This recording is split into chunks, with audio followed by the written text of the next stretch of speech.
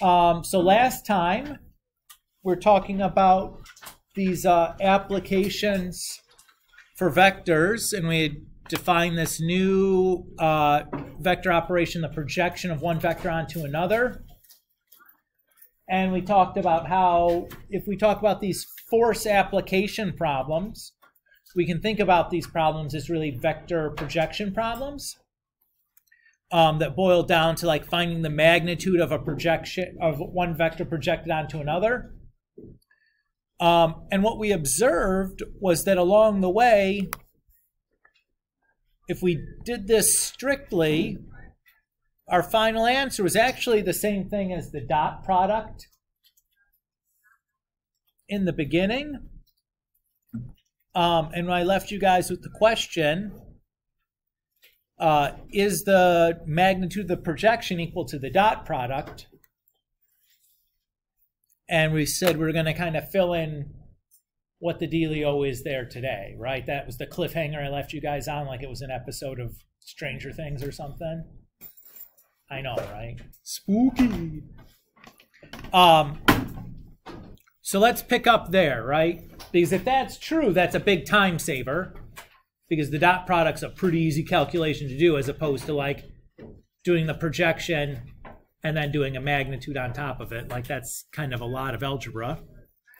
Um, so here's the deal. So if I have two vectors, u and v, the magnitude of the projection of u onto v is equal to the absolute value of the dot product of u and v if what do you suppose is the condition? There's one condition there that we have to have for that to be true. Uh, well, it's v that should be the unit vector, but yes, so whatever the vector you're projecting onto, if that's a unit vector already, we're in business. So let's prove that, right?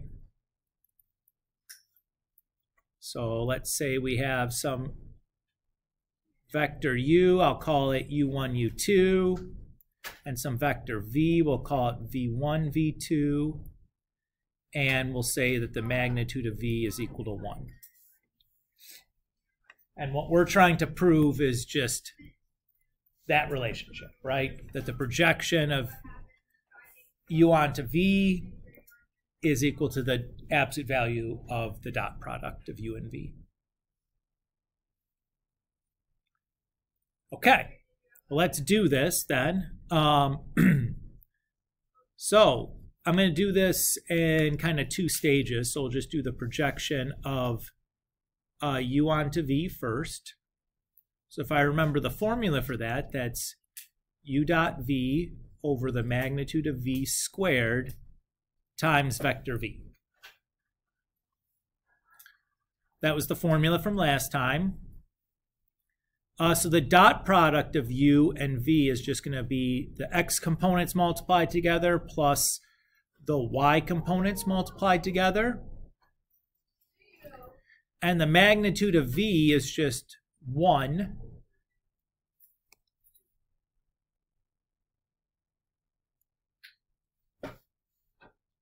So I have that. Everybody feel okay so far? Okay, let's do that scalar multiplication. So this is going to be V1 times that dot product comma, V2 times that dot product.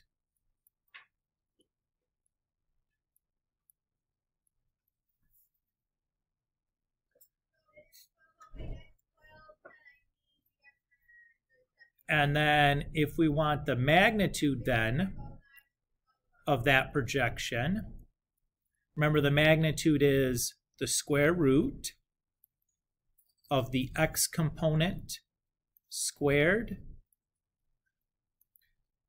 plus the y component squared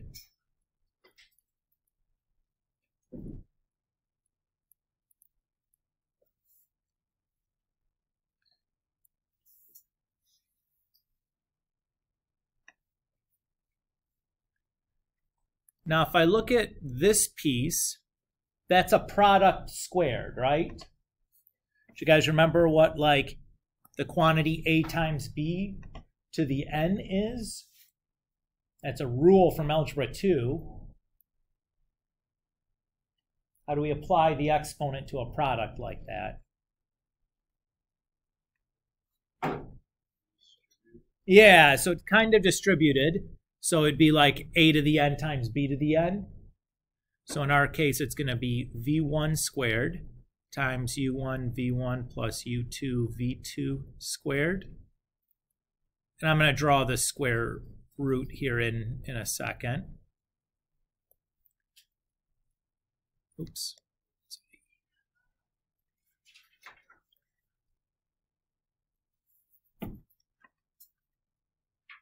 Everybody so far so good? I notice now that there's a greatest common factor under my square root, right? That that factor apply or is appears in both parts of that sum. So I'm going to factor that out. And again, I'm going to draw the square root here in in a second, but it's easier to write the other things in first. Who remembers the rule for the square root of a product? This is again another Algebra 2 rule, probably from the same chapter. That's exactly right. So I'm the square root of each factor.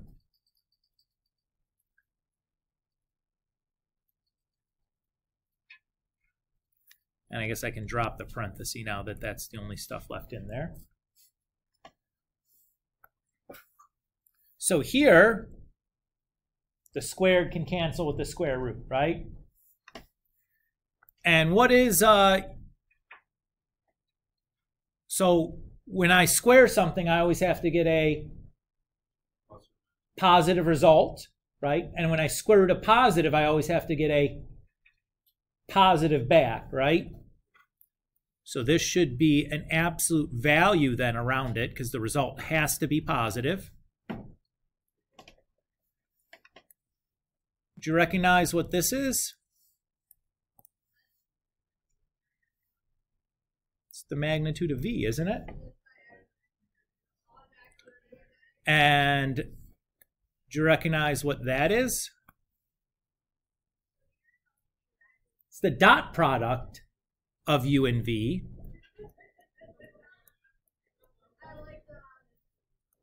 And the magnitude of V was just 1. So we're left with the projection, or the magnitude of the projection is just the absolute value of the dot product, which is exactly what we were looking for.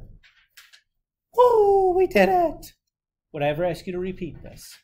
No, man, but this is the honors class. When we say stuff, we prove it, right? I mean, you could trust me, take me at face value, but you shouldn't do that. Always demand proof. Okay. Um, let's do another example where we couldn't have used, used this shortcut. Right, that's probably a good thing to look at. And we'll talk about how I can tell the difference between the two situations.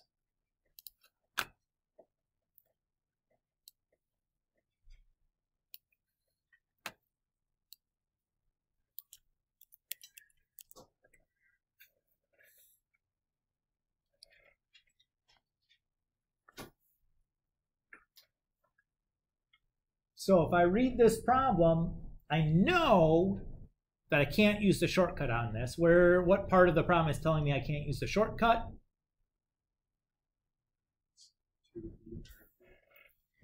Yeah, I have some dimensions for my ramp. Essentially, we're telling you the length of the ramp, meaning that I can't call it a unit vector. Everybody's okay with that? Um, although I can write that vector in component form rather easily, what would I say is that vector?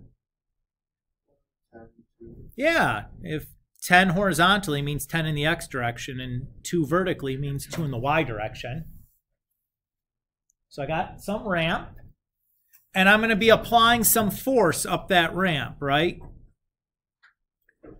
So the force being applied up the ramp is at an angle of elevation of 40 degrees and has a force of 100 pounds. So that tells me the angle of that force is 40 degrees. And the magnitude of that force is 100 pounds. So I can resolve that vector then into component form. Just doing 100 cosine 40 degrees, comma 100 sine 40 degrees.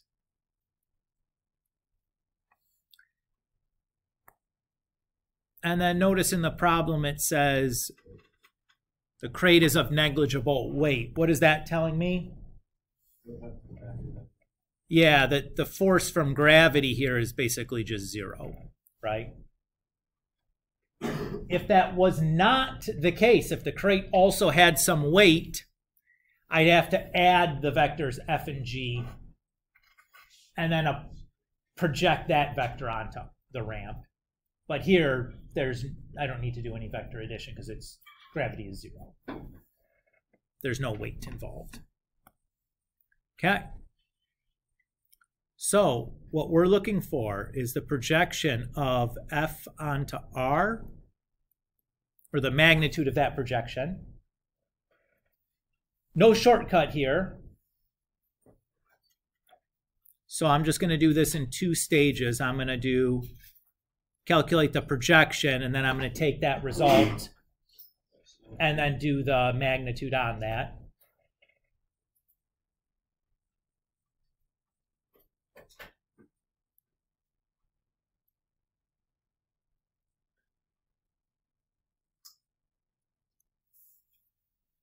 So again, that's going to be the dot product of f and r divided by the magnitude of r, oops, squared times the vector r.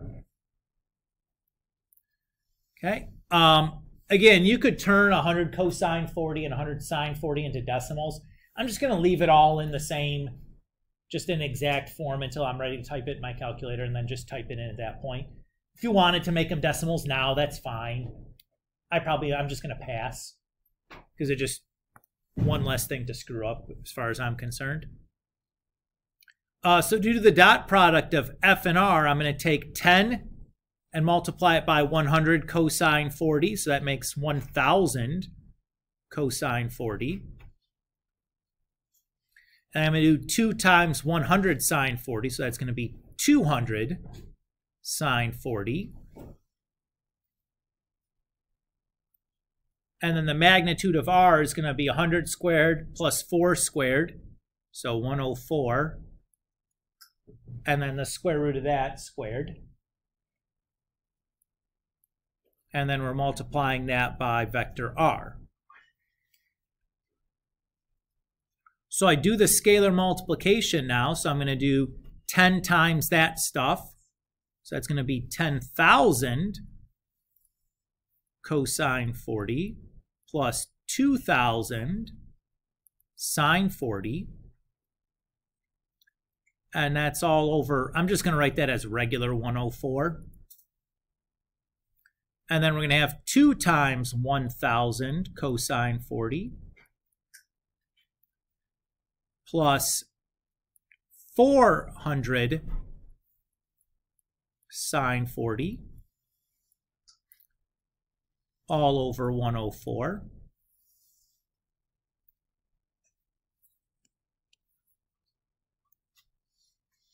And then I'm going to want the magnitude of that projection. So I'm going to just type this into my calculator in three stages. I'm going to do this number, and then this number, and then the square root of that number squared plus that number squared in my calculator, just to keep things manageable so I can kind of see everything I'm doing all at one time.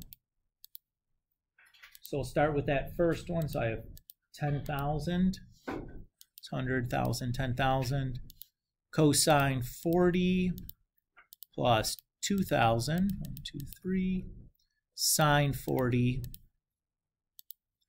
over 104. Double check my mode, okay? And then we'll do the same thing, except this time it's going to be 2,000 cosine 40 plus 400 sine 40 over 104. And then my magnitude then is going to be the square root of 86 squared plus 17 squared. So I get about 87.72 pounds.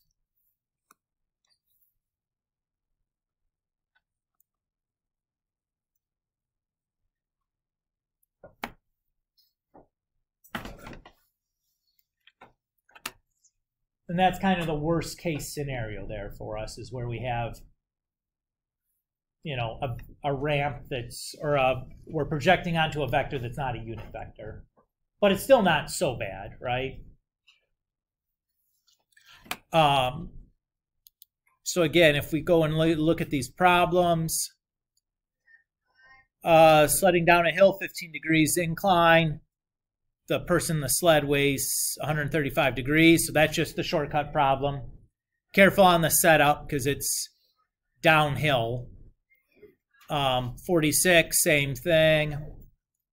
47, same thing, right? Negligible weight, except this time we're being pulled up, so we're in the first quadrant. Uh, 48, again, this one is different. Notice the ramp has a dimension to it, so there's no shortcut on that one. Um, and then 49 and 50, you have a weight for the crate, a force being applied to that crate, and then a ramp. So you'll convert these two into vectors, the weight and the force, add those together and project that onto the ramp. But it's still a shortcut you can still use the shortcut where there's the magnitude of the projection is the dot product. Should be good. Is that okay? Just kind of talking through the what you're seeing here so you're not spending like five minutes on one of these problems reading it, trying to understand what to do with it. Um, but they're ostensibly just like the problems in the uh, in the examples there. Okay. Uh, the other thing we're going to do today is section 8.4. So here we're talking about two-dimensional vectors in space. Not outer space, but like in, in the xy plane. Um, so in this section, we introduce another notation to describe a vector. Yay, I love it. Another name for the same thing. Uh, here we're going to call that other name the IB component form, where instead of writing the vector in a row, AB, we write it in a column, AB when Mr. Kulick learned this, he, we just called them column vectors instead of, we didn't have the IB component form to it. We just called it a column vector. The other one we'd call a row vector, but there's not, there's no real trick into converting them, right? You're just like, the X is on top, the Y is on bottom. It's like all there is. Um, so the goal here, what we're going to talk about is um,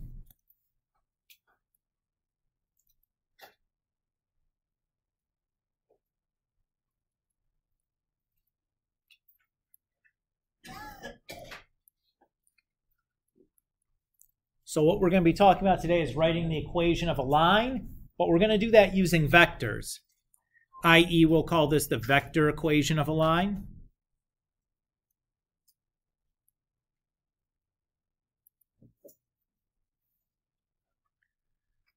So remember, back when we were writing equations for lines, way back in Algebra 1, what kind of information did we need in order to write the equation for a line? Okay, let's be more general and just say a slope at any point, right, would be enough. What else could you have given?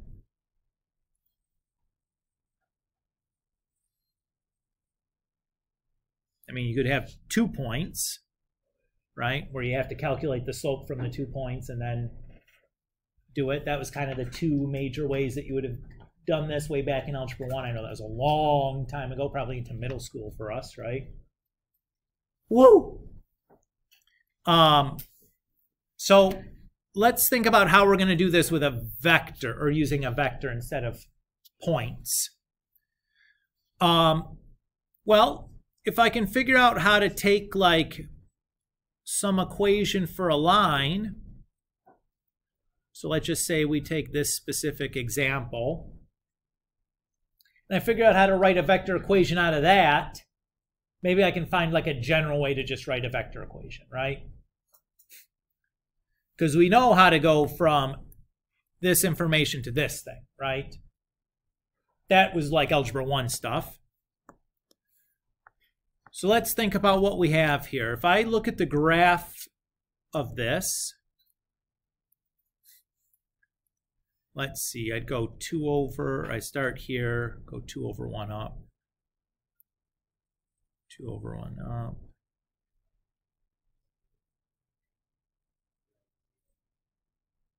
So that's like what my line's going to look like, right?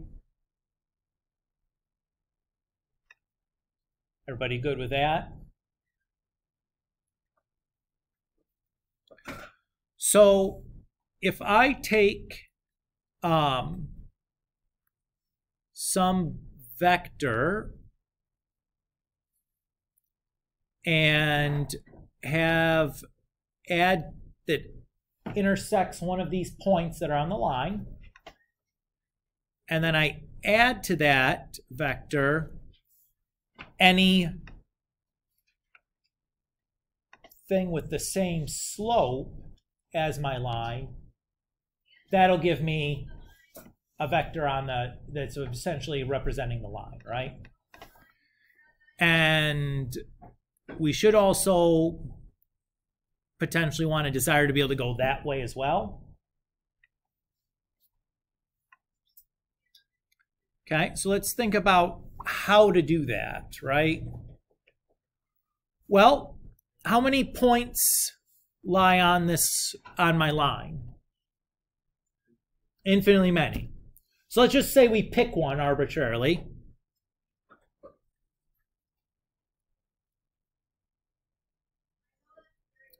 for the sake of doing the calculation, I'm going to pick that 0.22 just because the numbers are convenient. And I'll call that point P naught.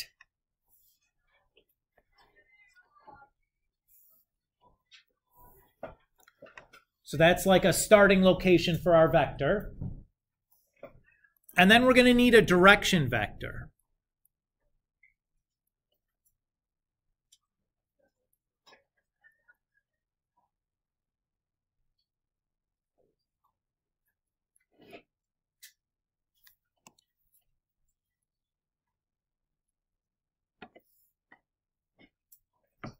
So if we're starting our vector here at 2, 2, to get back to another spot on the line, we'd have to do that, right? What does that remind you of?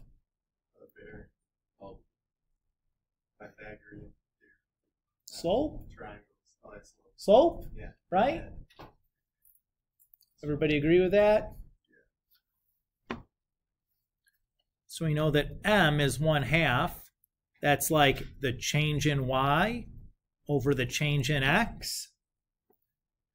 So I'm going to convert that into a direction vector. What is the x component of my direction vector going to be? What do you think?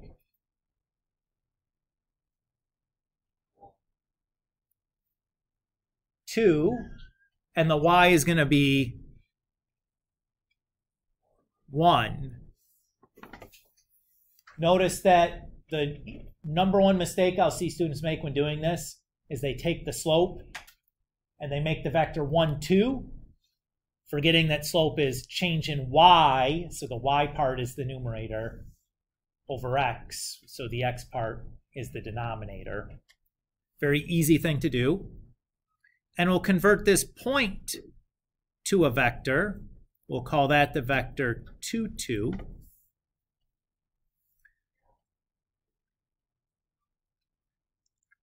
So if we take y, or take our point, and we add our slope vector, that should give us our equation for a line, right? Well, not quite, almost. Notice that this is just a, this is, when I do this, though, like this is just a single value, right? That's just the vector 4, 3, which is fine, but that's not representative of like any vector starting at that point and going in that direction. So what I kind of need to do is I need to attach a parameter onto this. So where am I going to stick that parameter onto? The P naught for the point or the V for the slope? The V for the slope. Oops, that's supposed to be a vector.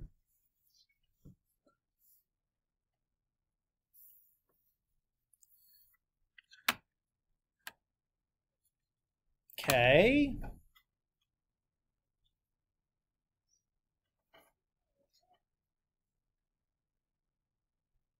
All right, so notationally, there's still something wrong here, right? What is wrong with this notationally? This is just scalar multiplication. That should result in a vector quantity. If I add it to another vector, I should get what kind of thing back? A vector, which is equal to not a vector. Right? So that's notationally bad. So the way we're going to change this is we're just going to say R is equal to R naught plus VT. This is going to be our vector equation for a line. So if we go back to this what we had.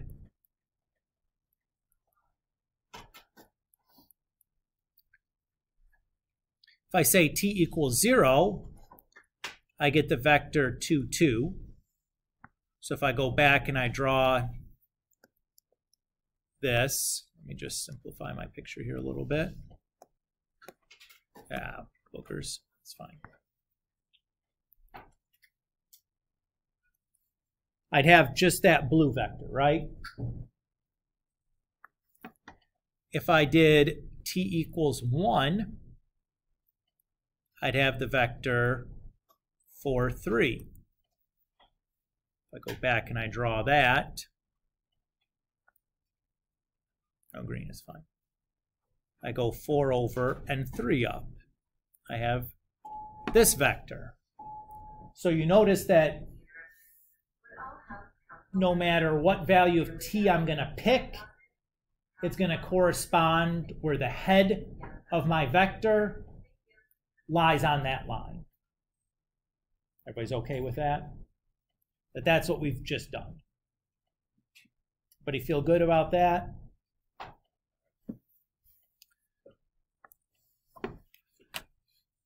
Okay. Um, oh, and uh, probably worth noting that if I pick negative values of t, what's going to happen? I shouldn't say v there. Those are supposed to be r's.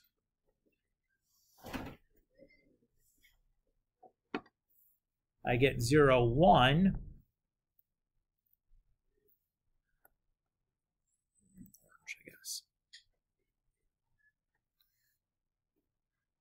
So I'm getting the vectors kind of going the opposite way, right? So I have things that can go forward and things that can go backwards. I am good to go. Everybody happy with what we've done here? All right. Let's uh, cement this with a concrete example where we're just going to ask to go from our slope-intercept equation to a vector line equation.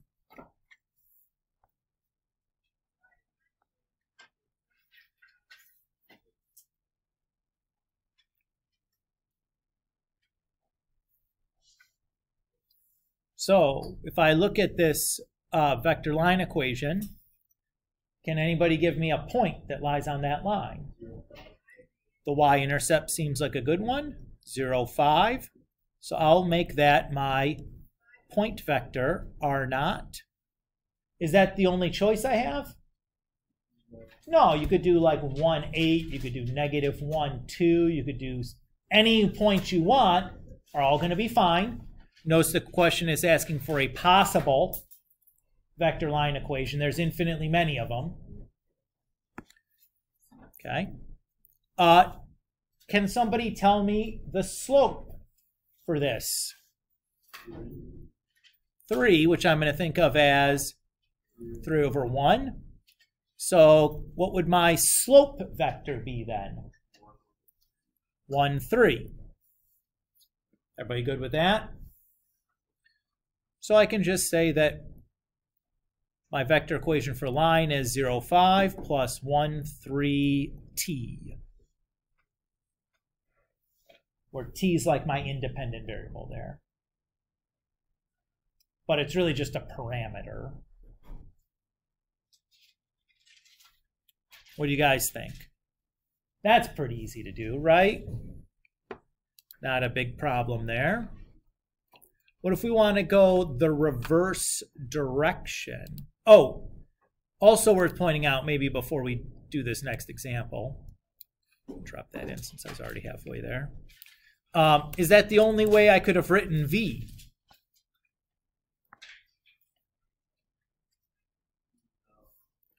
No, what else could I do?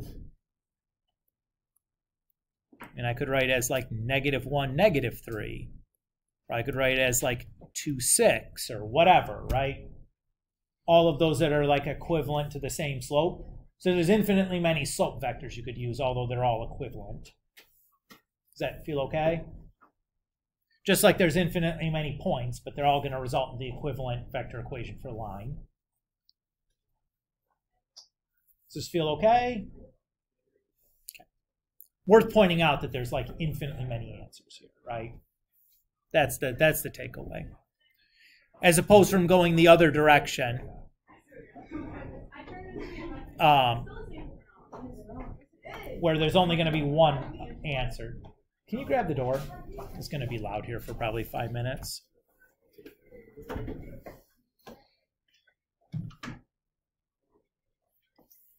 Thanks, homie.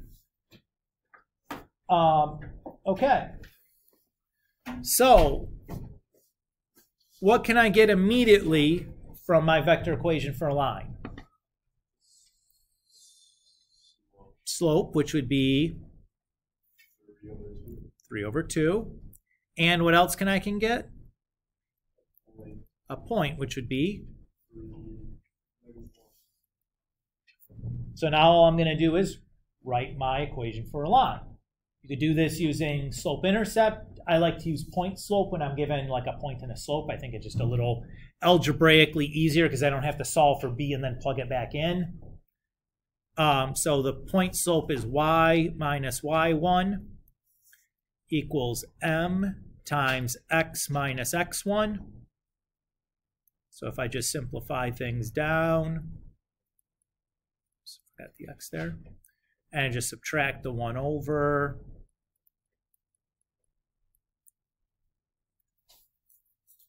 There we go.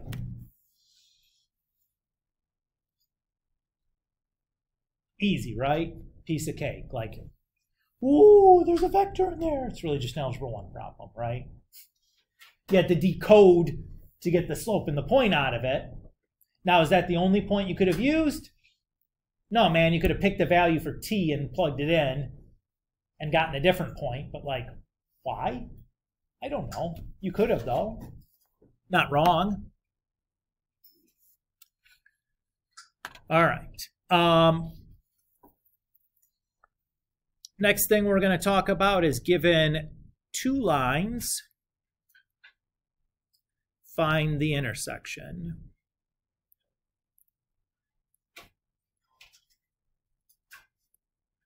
If they if it exists. So let's go back to algebra two. If you have two lines, there's three possible outcomes that you can have. What are the three things that can happen if you have two lines in a plane?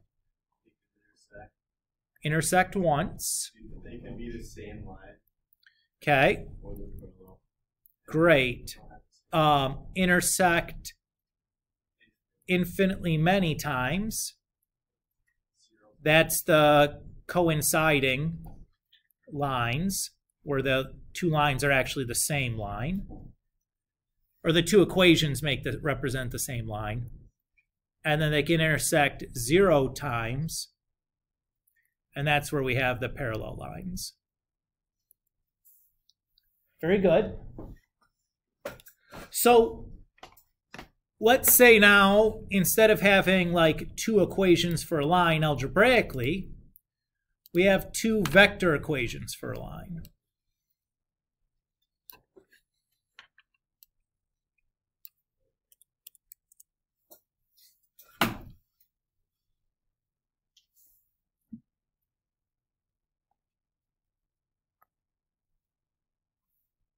So the first thing I'm going to do is I'm going to want to sort out if one of those two things is going on. What's true about the lines in both of those situations?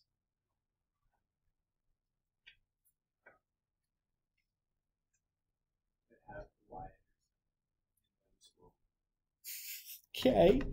What is the same, though? If they're coinciding and they're parallel. Oh, slow. The slope is the same for both lines, right? If they're the same line, obviously they have the same slope. And remember that parallel lines have equal slopes as well. So that's the first thing I'm going to check.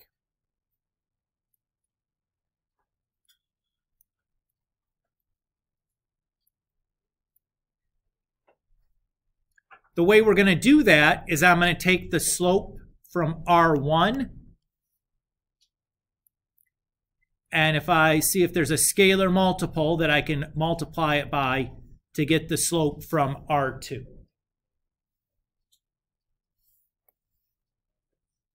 So that's going to be 1, 3 times k has to equal 3, 5. So k, 3k has to equal 3, 5, or k has to equal 3, and then 3k has to equal 5, or k would have to equal 5 thirds. Since these are different, my values for k are different, I know that these two slopes are not the same. Everybody's happy with that? Um, if they were the same, what would we have to check to tell the difference between parallel and coinciding? Yeah, so what we do is we would check to see if like this point from R1 is also a point on R2. If the answer to that is yes, then they're coinciding because if one point's the same and they have the same slope, all their points will be the same. And if it's no, then they're parallel because if they're par- if they're parallel or if they're the slopes are the same but none of the point any point is different, all the points have to be right? Um, okay, since that's no, we're going to continue on now to find the intersection.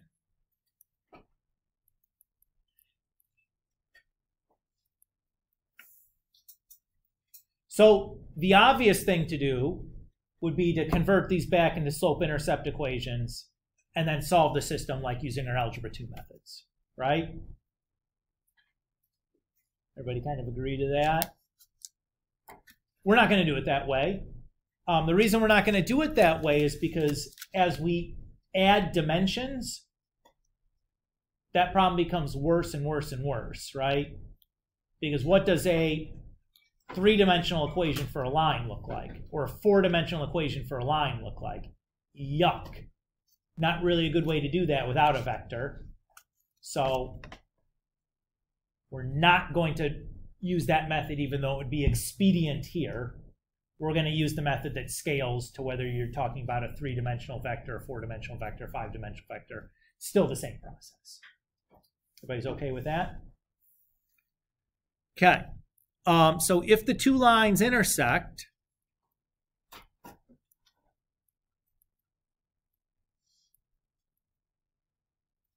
we know there exists some point xy such that xy lies on R1 and on R2, right? Everybody agree with that? So I know that x1 is going to equal, oops.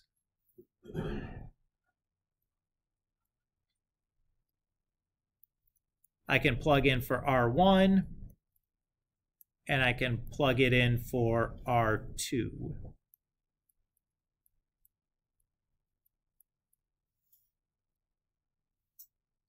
Everybody's okay there? If I look at this, that's just like scalar multiplication vector addition, right? Everybody agree? So I'm going to add those, I'm going to do those vector operations to write this as a single vector. So 2 plus 1s, and then 4 plus 3s.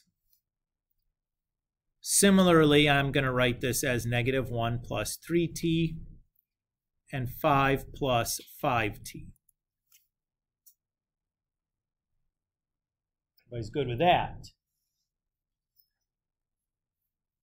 And since these are the same xy, 2 plus 1s, 4 plus 3s has to equal the vector negative 1 plus 3t, 5 plus 5t. Everybody's okay there. And if two vectors are equal, I know their x components have to be equal. And I know that their y components have to be equal.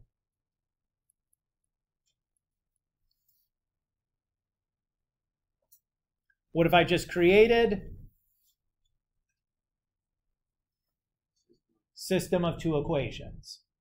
Great. Uh, so let's think back to Algebra 2. You guys looked at a lot of methods to do this. What is the most effective method you guys talked about? Ah, I would use a matrix, right? What's the easiest way to use a matrix to do this?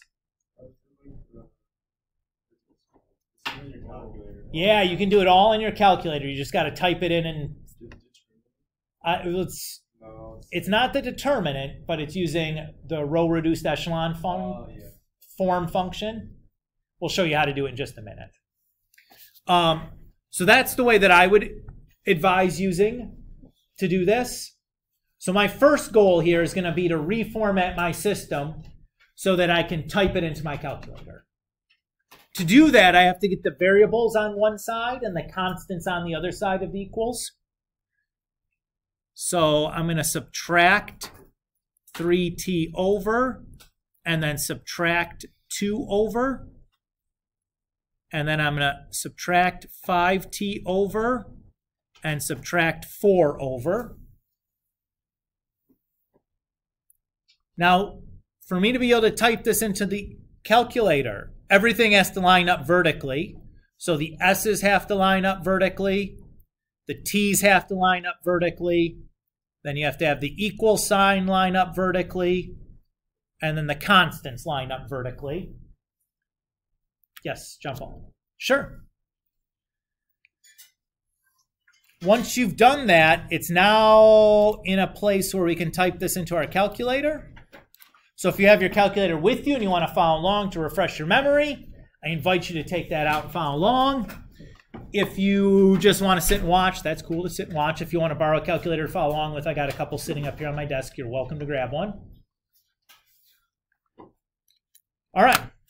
First things first, we got to type this system into a matrix.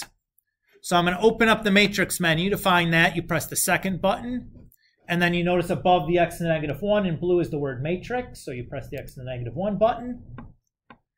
Inside the matrix menu, you have three tabs. There's a names tab, an edit or math tab, and then an edit tab. To type things in, we're going to go to the edit tab.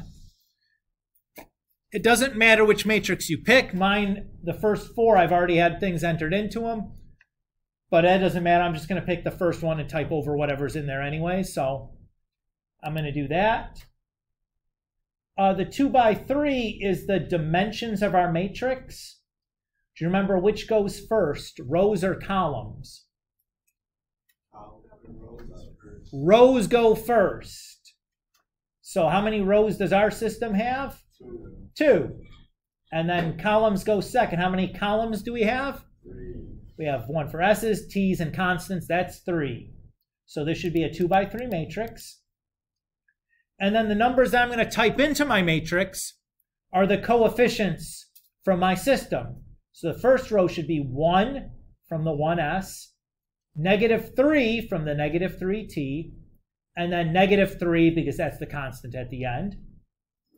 The second row should be 3 from the 3s, negative 5 from the negative 5t, and then a 1 from the constant 1 at the end. So this should be what your matrix looks like. I'll give you a minute if you're typing things in to get that typed in before we move to the next step.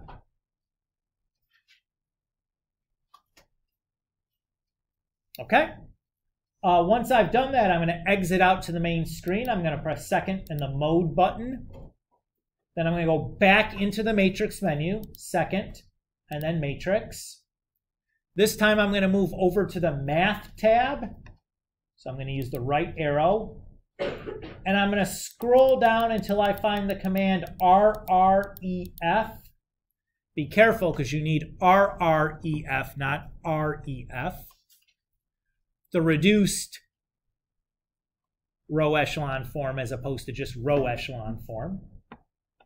Um, so that's RREF. Pick that one. And we're going to do that on matrix A. So I'm going to go back again to the matrix menu for a third time. From the names tab, I'm going to pick matrix A, close my parenthesis, and press enter. So this matrix that I have tells me the solution to my system. If I read the first row that says 1s plus 0t is equal to 4.5, so s is 4.5. 0s plus 1t is equal to 2.5. So I know that s or t is equal to 4.5. So s is 4.5, t was 2.5, right? Yeah, okay, good. So that's my point of intersection, right? Wrong. S and T are not the coordinates. S and T are the values for the parameter that I can plug in to get the coordinate. So now I'm going to go back to either R1 or R2, it doesn't matter, and plug in either S or T into the equation. So let's say I picked R1. So there I'm going to be, I have the equation 2, 4 plus 1, 3s. So for s, I'll plug in 4.5. 4.5 times 1 is 4.5, plus 2 is 6.5. 4.5 times 3 is 13.5, uh, plus 4 is 17.5. So that would be my point of intersection. You can check to make sure you're correct just by plugging the T into R2.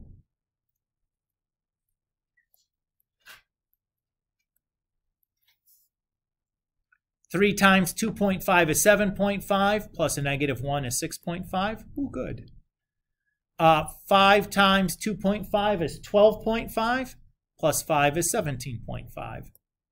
So I know that I have the correct result.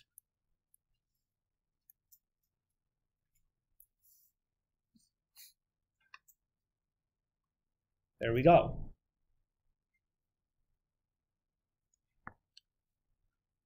Um, let's build a little flow chart to kind of streamline what we're doing here, right? So first thing we do is we check if slope vectors are equal. So that what we did is we did v1 times k equal to v2. So if it's yes, we do some stuff. If it's no, then we know that the two lines intersect. Everybody's good with that? If it's yes, then we need to check if the R naught from equation 1 occurs in equation 2.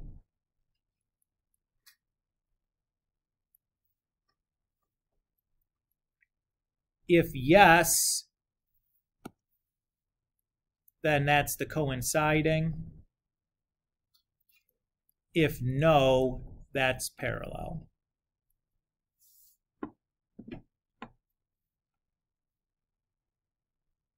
Um, let's do a little example where we have to do this check. Um, there's not one prepared in the notes, so I'm just going to make up one right now that's like trivially easy. That you'll look at it and you'll know right away, like, hey, yo, Mr. Kulick, I can tell those are the same line. But just like, it's okay. We're just doing it to illustrate how to do this. So I'm going to fully acknowledge that like um, this is like the easiest stuff that's ever easied.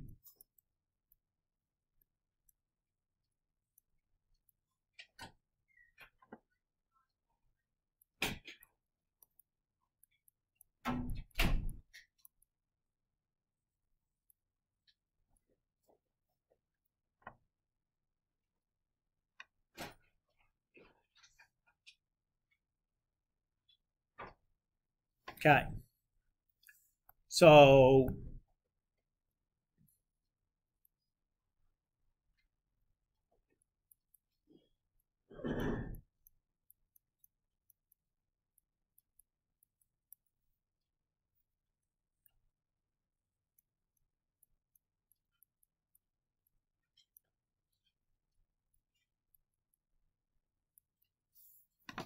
So first thing I'm gonna do is check if the slopes are equal. So I just do k times the first slope and set it equal to the second slope. And then solve for k, make sure that the solution is true for each component. I get negative 1 as my solution for k for each of them, obviously. So we know that they're, the slopes are parallel.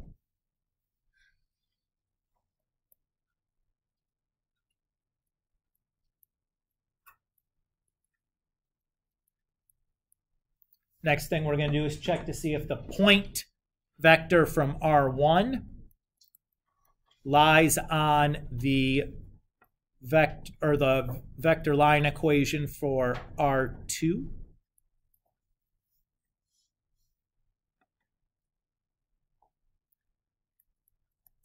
So this is just scalar multiplication and vector addition on the right-hand side. So that's going to be 0 minus t and then negative 1 minus t. So I set that stuff equal to 0, or I'm sorry, equal to uh, the um, to the other side. So here I get t is equal to negative 1. If I add the 1 over and divide by negative 1, I get also t is equal to negative 1. Since those are the same t, we know now that we're coinciding. Which again, you probably could have looked at the two vector line equations that I gave you and been able to tell they were coinciding. I did not try to hide it at all. Um, but that's that's how that would work. Does that feel okay? Um, when we talk about three-dimensional stuff in a couple of sections, we're going to do the same process. There's a fourth outcome for three-dimensional lines. Um, and this process becomes really not practical if you're trying to convert a three-dimensional vector equation for a line into an equation for a line. It doesn't really work in three dimensions. Doing it in three dimensions, you have to kind of do it as a vector equation. So there is no like, oh, just convert it to an algebra problem. It doesn't really work that way. Um, but we'll use the same basic techniques, the same basic flow chart. We'll just add another arm onto it. Um, but the steps are going to be identical. So we're going to check to see if the slopes are equal the same way. We're going to check to see if, you know, like the difference between parallel and coinciding the same way. We're going to solve for the point of intersection the same way. It's just going to be three components then you have to check for instead of two. But it's going to be the process will stay virtually identical, just with some minor modifications for the extra dimension and the uh, extra possible outcome. Um, this is where I feel like we should stop. Um, at this point, you guys should be able to do up to 76. Um, but let's talk about what's going to be due when, right?